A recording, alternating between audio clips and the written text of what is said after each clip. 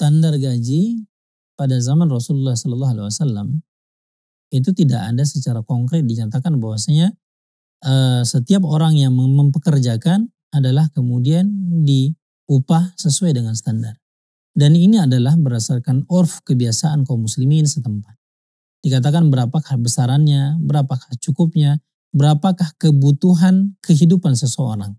Maka dilihat harus diperhatikan maslahat ketika kita menjadikan seseorang karyawan yang full misalnya, maka kita harus memperhatikan kesejahteraan kehidupannya.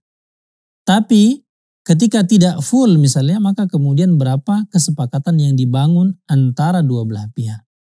Jadi siogianya bagi orang-orang yang memiliki karyawan yang menjadi uh, owner satu perusahaan dan sebagainya hendaklah memperhatikan kemaslahatan yang dibuat untuk kesejahteraan karyawannya ataupun pekerjaan. Allah taala.